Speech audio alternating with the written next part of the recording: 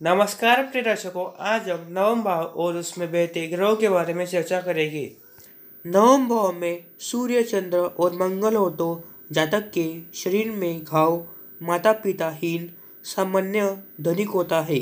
रवि, चंद्र और बुध हो तो हिंसक, कुलाचारहीन, साधारणतः धनिक होता है। रवि, चंद्र और गुरु हो तो सुखी, वाहन परिपूर्ण एवं समृद्ध होता है। सूर्य, चंद्र और शुक्र हो तो झगड़ालू निर्धन एवं व्यापार में धन नाश करने वाला होता है। सूर्य, चंद्र और शनि हो तो दूसरे की नौकरी करने वाला साधारणतः भाग्यशाली एवं श्रेष्ठ व्यक्तियों से विरोध करने वाला होता है। सूर्य, मंगल, बुध हो तो सुंदर, क्रोधी एवं विवाद प्रिय होता है। सूर्य, मंगल एवं गुरु हो तो लोकप्रिय धनिक एवं भाग्यशाली होता है। सूर्य मंगल और शुक्र हो तो क्रोधी स्त्रियों से झगड़ने वाला एवं निर्धनी होता है। सूर्य मंगल और शनि हो तो बंधुहीन, साधु एवं पैतृकहीन होता है। सूर्य बुध और गुरु हो तो यशस्वी एवं धनिक होता है। सूर्य बुध और शुक्र हो तो राजा के समान वैभवशाली तथा सूर्य बुध और शनि हो तो परश्रीगामी एवं धनिक होता है। नवम भाव में सूर्य, बृहस्पति और शुक्र हो तो जातक परश्रीरथ धनी एवं पंडित होता है। सूर्य, शुक्र और शनि हो तो निर्गुण एवं राजा से दंडित होता है। चंद्रमा, मंगल और बुध हो तो जातक बाल्यावस्था में दुखी, युवावस्था में सुखी होता है।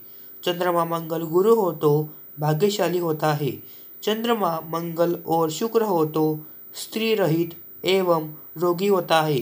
चंद्रमा मंगल और शनि हो तो कृपण एवं मातृहीन होता है। चंद्रमा बुध और बृहस्पति हो तो विद्वान, धनो एवं पराक्रमी होता है। चंद्रमा बुध और शुक्र हो तो परक्रमी एवं धनिक होता है। चंद्रमा बुध और शनि हो तो जातक पापी विवाद प्रिय एवं बुद्धि युक्त होता है।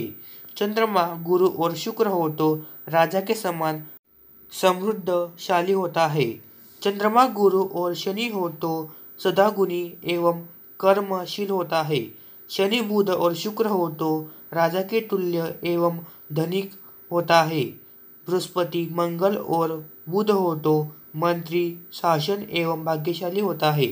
बृहस्पति, मंगल और शुक्र हो तो चंचल एवं भीरु होता है।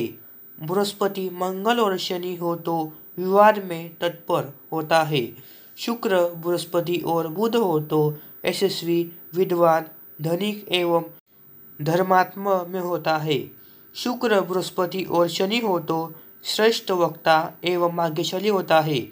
गुरु, शुक्र, बुध और चंद्रमा हो तो श्रीमान, पराक्रमी एवं उद्योगी होता है। सूर्य, मंगल, बृहस्पति और शनि हो तो साहसी, पराक्रमी एवं धनिक होता है। शुक्र, मंगल, बृहस्पति और चंद्रमा हो तो वीर, सर्वगुण संपन्न एवं रसिक तथा बृहस्पति बुध और चंद्रमा हो तो जातक यशस्वी एवं भाग्यशाली होता है।